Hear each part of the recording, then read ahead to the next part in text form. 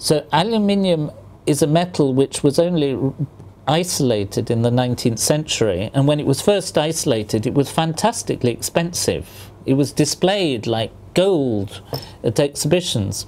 Now you find it everywhere.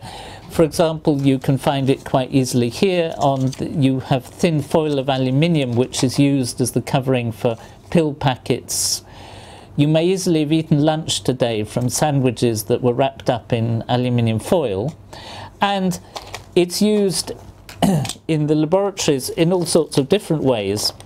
It's a very good reflective material, so um, chemists and engineers often put um, aluminium coatings on mirrors like this one.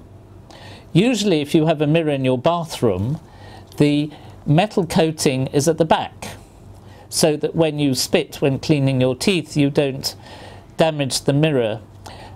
but when you're doing experiments, particularly with ultraviolet light that's absorbed by glass, you have the, uh, or um, infrared light as well, you have this on, as a coating on the front of your mirror.